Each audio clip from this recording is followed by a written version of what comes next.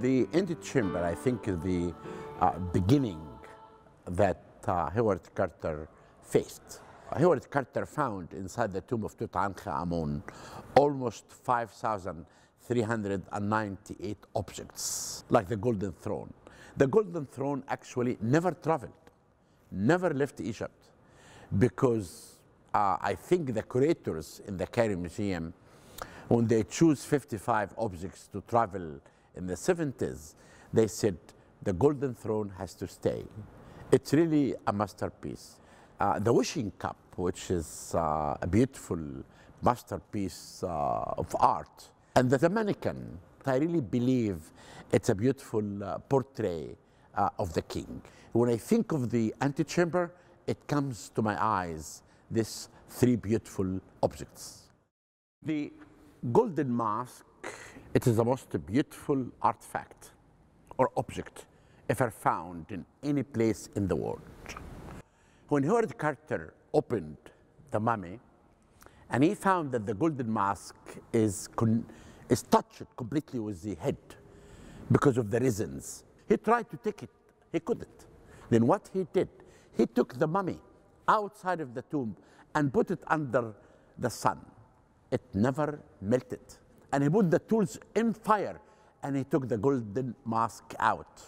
Because of that, he damaged the mummy actually to 18 pieces.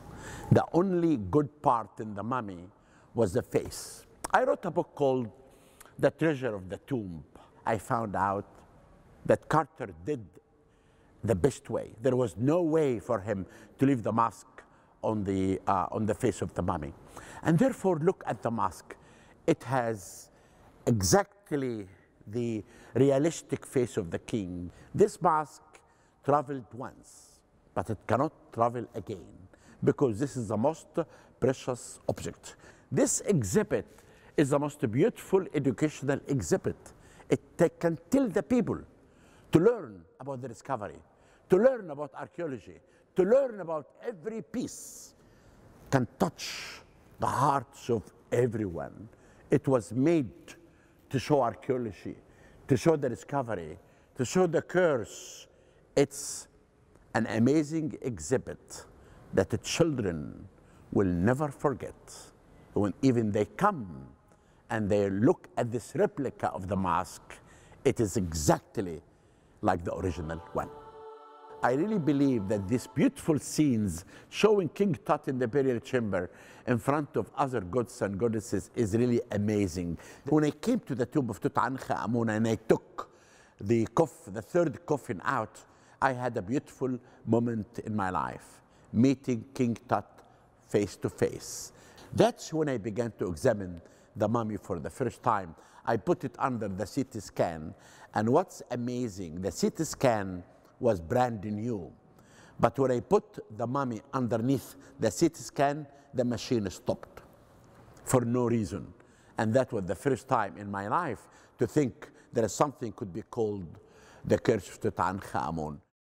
I actually had lots of work to do with this sarcophagus because I opened it. Inside this sarcophagus, there were three coffins. And this is why in this exhibit, they're showing the three coffins beautifully. And the middle one is the most amazing one because it's made of solid gold. I think about 243 pounds of gold. Because gold in Egypt was like dust. If you look at every coffin, it has the vulture and the cobra for protection, and you have the false beard for the king, and you have the crook and the flail. Because this is the symbol of kingship. It represents the king as a ruler, not only for today, but for the afterlife. And now the mummy is saved completely underneath because this for him will live for eternity, forever, as a god. I found out that the mummy was in danger because of the breathing of the tourists and also the dust.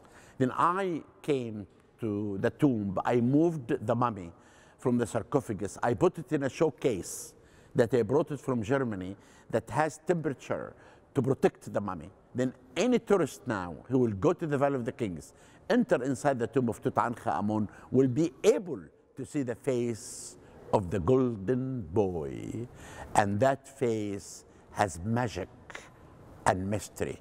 It will capture the heart of anyone who will enter the tomb of Tutankhamun.